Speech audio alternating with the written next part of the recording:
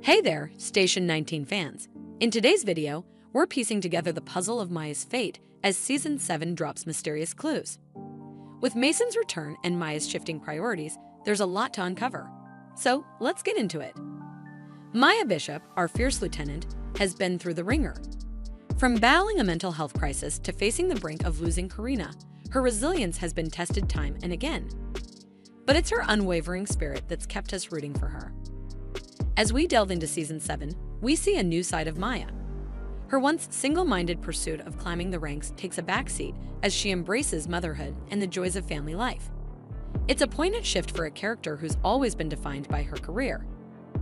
Episode 3 doesn't just bring Maya's brother back into the fold, it subtly points to what her happy ending could look like. No longer in the running for captaincy, Maya's focus is now on her well being and her loved ones. It's a heartwarming turn for our beloved firefighter. The reintroduction of Mason isn't just a blast from the past, it's a chance for healing.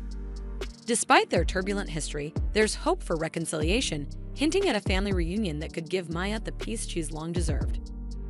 Maya's evolution this season is more than just character development. It's a testament to the show's ability to surprise and move us. As we await the next episodes, one thing is certain Maya's journey is far from over, and we can't wait to see where it leads.